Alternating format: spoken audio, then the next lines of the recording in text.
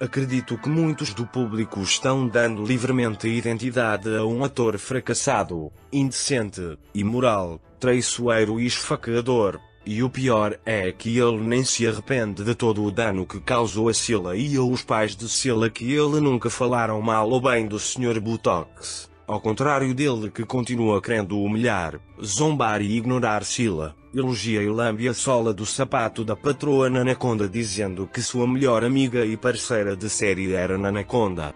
Isso machucou muito muitos do público por ser muito ingrato com seu parceiro por dois longos anos que o levou pela mão ao sucesso, fama e popularidade. O que ele disse e fez na Geórgia, será muito difícil deixar o público esquecer e perdoe. Agora ele está começando aos poucos a pagar por toda a sua maldade.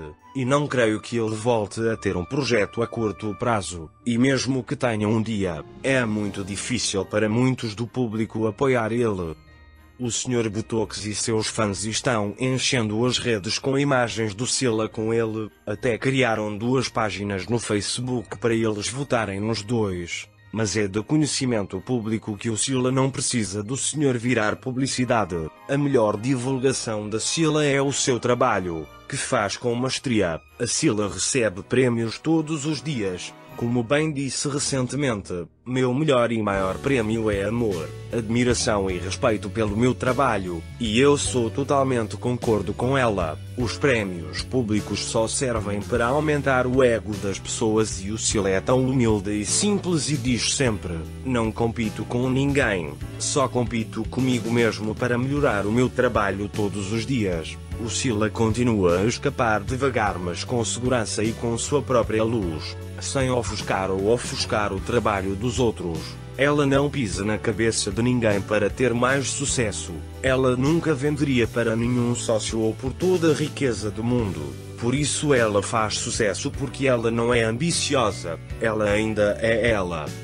Simples, humilde, honesta e solidária. Por isso e graças a Deus chovem ofertas de emprego sobre ela. Porque ela é limpa, leal, carismática e acima de tudo tem os pés bem assentes no chão.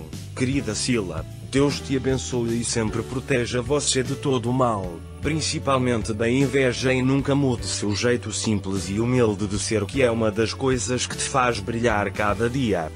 Muito bem, cara, é o que as pessoas dizem. E Manette só durou 1 e 2 temporada 3. Não existe nessa 3 temporada. O encanto do amor de 1 e 2 temporadas está se perdendo e aos poucos qualquer sentido da série está se perdendo mas ela gradualmente assumiu o papel principal de Ama e o escalou para um papel secundário e eu observo durante esta terceira temporada. Ele só segue a Yusufi Nana como alguém da casa e ele foi três vezes pior em relação a Silly do que em relação a essa bruxa ou dançarina. Ela administra aquela série como lhe convém. Ela diz que Ser tinha um guarda-roupa feio durante a primeira e segunda temporada. Ou seja, ela estava muito na moda, mas nossa Ser estava tão linda e ela era linda. Seus olhos sempre se destacavam em ela, e o guarda-roupa dessa dançarina é ainda pior do que o que Ser costumava ser. E em segundo lugar, esse guarda-roupa não cabe nela mesmo sendo dele. E em segundo lugar ela age como um homem. E em segundo lugar enquanto ela está falando ela está constantemente peidando. Enquanto ela está falando apesar de tudo. Não me arrependo de não ter assistido a terceira temporada. E algo mais como essa nova atriz está animada. Não sei o que ela vai ensinar ao Yusuf não sei. Não sei nada o que a babá vai fazer para Yusuf quando ele for grande. Ele vai para a escola e o que a babá vai fazer com ele. Isso é tudo bobagem para mim. Mas o que pode ser feito? O que é isso?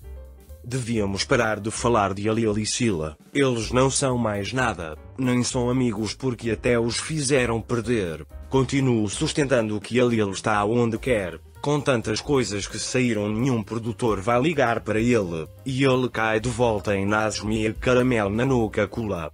Depois de mais ou menos um ano e ele nunca mais ter reconhecido o Sila, nem vale a pena falar mais nada, pois não seria credível depois de ouvi-lo dizer que Nanuka era sua alegria e sua melhor companheira. Está na hora de Alil viver o que quiser com quem ela quiser, seja Clu ou Nanuka e nossa princesa Sila se apaixone novamente e seja feliz com o homem que ama e ela o ama pronto.